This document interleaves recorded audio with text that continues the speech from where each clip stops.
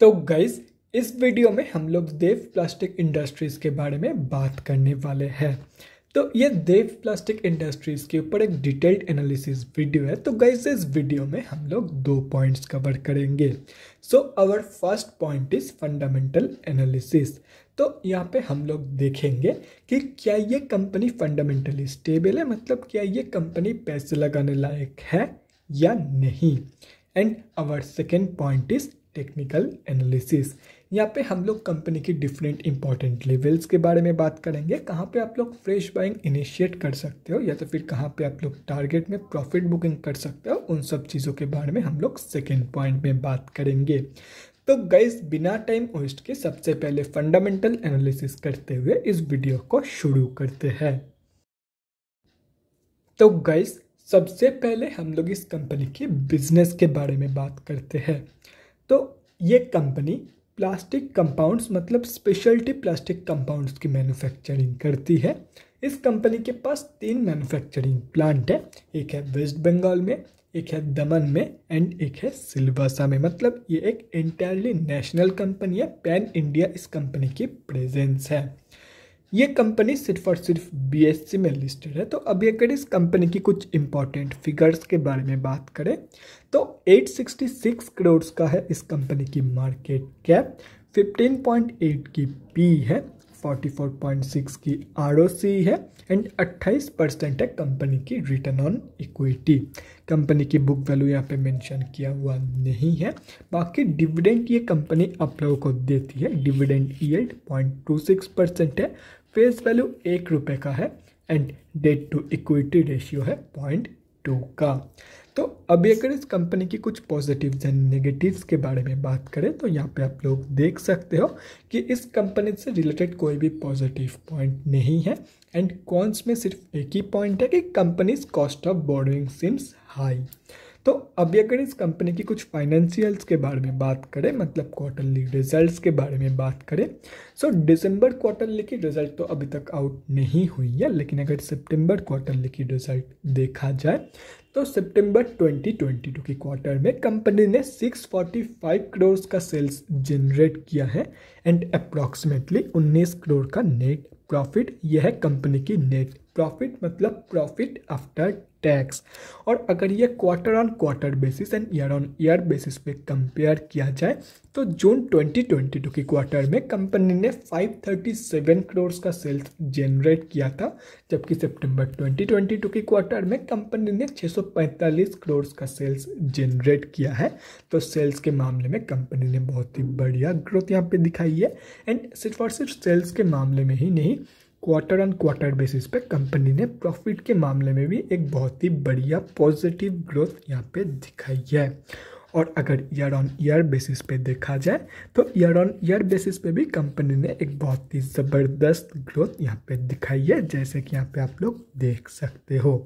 तो अभी अगर इस कंपनी की फाइनेंशियल ईयर 2022 के रिज़ल्ट के बारे में बात करें तो फाइनेंशियल ईयर 2022 में कंपनी ने 2227 करोड़ का सेल्स जनरेट किया है एंड 55 करोड़ का प्रॉफिट अभी देखो करंट टी का प्रोजेक्शन तो यहाँ पे नहीं दिया हुआ है, लेकिन क्वार्टरली रिजल्ट्स देख करके तो यही लग रहा है कि कंपनी एटलीस्ट आउट परफॉर्म तो करेगी फाइनेंशियल ईयर 2022 में इन टर्म्स ऑफ़ प्रॉफिट बाकी सेल्स का कुछ कह नहीं सकते, लेकिन जिस हिसाब से कंपनी अभी परफॉर्म कर रही है, वो देख के तो यही लग रहा है कि at least in terms of profit company financial year 2022 से तो अच्छा ही परफॉर्म करने वाला है इन फाइनेंशियल ईयर 2023 तो अभी अगर इस कंपनी की बैलेंस शीट के बारे में बात करें तो हाफ़ ईयरली बेसिस पे यह है फाइनेंशियल ईयर 2022 की बैलेंस शीट एंड यह है सितंबर 2022 की हाफ़ ईयरली बेसिस पे।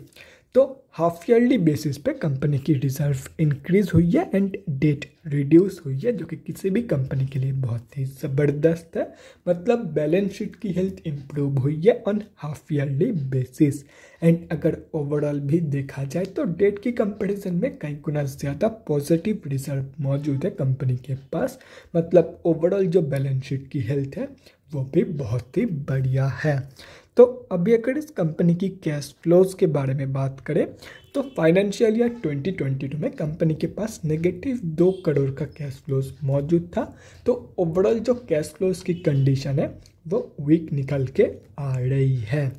और रही बात कंपनी की शेयर होल्डिंग पैटर्न की। तो गए सितंबर क्वार्टर लिखी शेयर होल्डिंग पैटर्न के अकॉर्डिंग इस कंपनी में प्रमोटर्स की होल्डिंग है 74.84 परसेंट एंड पब्लिक की होल्डिंग है 25.16 परसेंट यहाँ पे आप लोग प्रमोटर्स में कौन कौन है, वो लिस्ट देख सकते हो। बाकी अगर पब्लिक में बात करें तो पब्लिक में दो बड़े रिटेलर्स की होल्डिंग है एंड अगर ये दोनों कैलकुलेट करते हो तो इस कंपनी में हम अब जैसे छोटे मोटे रिटेलर्स की जो होल्डिंग है, वो अप्रॉक्सीमेटली 12.17 परसेंट के आसपास निकल के आ रही है। तो गाइस अभी कंक्लूशन पे आते हैं कि क्या आप लोगों को इस कंपनी में पैसा लगाना चाहिए या नहीं।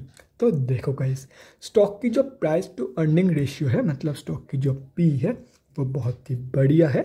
एंड उसके साथ साथ R O C and R O E मतलब return on equity and R O C के जो फिगर्स है वो भी बहुत ही बढ़िया है। डेट टू इक्विटी रेशियो भी बहुत ही बढ़िया है। एंड एडिशनली ये कंपनी आप लोगों को डिविडेंड भी पे करती है। एंड कंपनी की जो ओवरऑल ग्रोथ है सितंबर क्वार्टर लिखी रिज़ल्ट की, वो भी बहुत ही बढ़िया निकल के आई है। तो ऐसे में मैं आप लोगों को यही बोलूँगा कि आप लोग डेफिनेटली इस कंपनी में पोजीशन बनाना कंसिडर करके चल सकते हो। आप लोग डेफिनेटली इस कंपनी में इन्वेस्टमेंट कंसिडर करके चल सकते हो। तो अभी अगर इस कंपनी की टेक्निकल्स के बारे में बात करें तो यहाँ पे हम लोग आ चुके हैं बीएससी के डेली चार्ट पे। तो गैस यहाँ पे आप लोग साफ़ देख सकते हो कि इस कंपनी को अभी एक साल भी नहीं हुआ है स्टॉक मार्केट में लिस्टेड हुए हुए। इस कंपनी को जुलाई 2022 में मतलब लास्ट ईयर के जुलाई महीने में लिस्ट किया गया था। एंड तब से within a span of only six months इस कंपनी ने अपने इन्वेस्टर्स को 100 परसेंट प्लस की रिटर्न दिया है। एंड अगर देखा जाए तो ये कंपनी पिछले ऑलमोस्ट चार महीनों से एक ही रेंज के अंदर कंसोलिडेट कर रही है। पिछले ऑलमोस्ट चार महीनों से ये कंपनी इसी रेंज के अंदर साइडवेज ट्रेड कर रही है।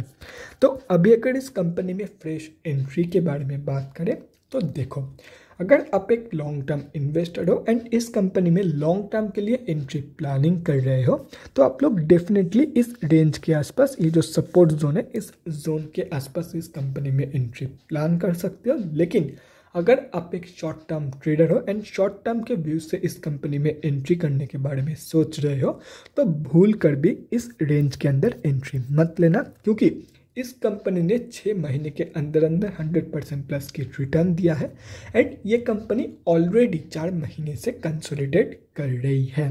तो हो सकता है आगे भी ये कंपनी और चार पाँच महीने ये कंपनी इसी रेंज के अंदर कंसोलिडेट करे। अब देखो, ये कंपनी कब तक कंसोलिडेट करेगी वो कोई नहीं बता सकता है। हो सकता है चार दिन के अंदर ब्रेकआउट दे दे मतलब यहीं से ब्रेकआउट दे दे और ये भी हो सकता है कि और चार महीने या छः महीने इसी रेंज के अंदर कंसोलिडेट करें। तो सिंपली शॉर्ट टर्म ट्रेडर्स के लिए टाइम टाइम मैटर करता है। देखो शॉर्ट टर्म ट्रेडर्स क्या long term investors swing traders intraday traders सबके लिए ही टाइम मैटर करता है। लेकिन लॉन्ग टर्म इन्वेस्टर्स के पास ऐसा कोई टाइम ब्रैकेट नहीं होता है। लेकिन शॉर्ट टर्म ट्रेडर्स के पास टाइम ब्रैकेट होता है कि मुझे छः महीने के अंदर गेन चाहिए, सात महीने के अंदर गेन चाहिए। मैक्सिमम टाइम लिमिट होता है शॉर्ट टर्म ट्रेडर्स के लिए। तो सिंपली अभी यहाँ पे पैसा लगाने का कोई मतलब नहीं बनता है, क्योंकि अगर आप लोग अभी पैसा लगाते हो एंड ये कंपनी अगर स्टिल साइडवेज ही मूव करती है छः सात महीने तक तो सिंपली आप लोग का पैसा एंड टाइम दोनों ही वेस्ट आने वाला है।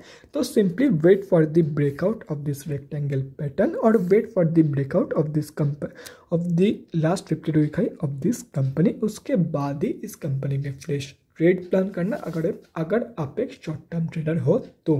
बाकी अगर लॉन्ग टर्म इन्वेस्टर हो तो कोई दिक्कत नहीं है। ये जो सपोर्ट बेस है, यहाँ पे आप लोग एंट्री प्लान कर सकते हो।